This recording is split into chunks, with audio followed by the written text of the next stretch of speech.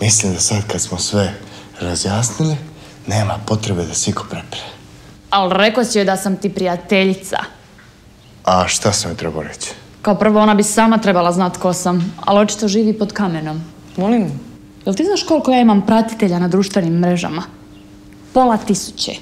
A moja zadnja pjesma ima komentara da boli glava. Sandra ti je pjevačica. I to je najpoznatija u lici. I šire.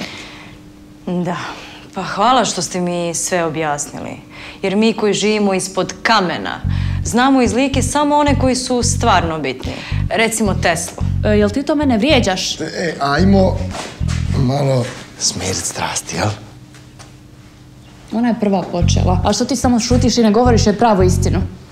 Ja stvarno ne znam šta sam trebao reći. Za početak da smo bili zajedno i da sam prekinula s tobom jer si me varao sa onom svojom susjedom. Šta stvarno, varo si je? Ma nisam i nisi ti mene ostavio, nego sam ja tebe ostavio, točnosti radi. Dobro, očito moramo malo ozbiljnije porazgovarati.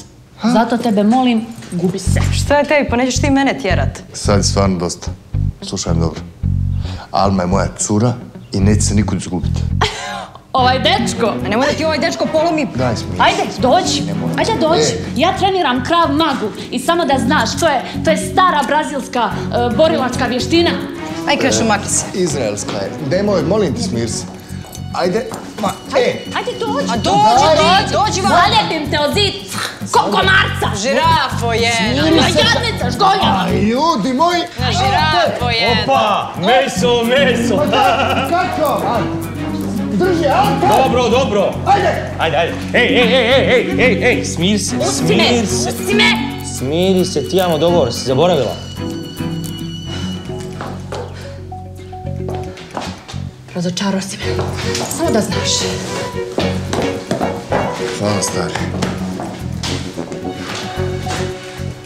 Molim, hvala tebi.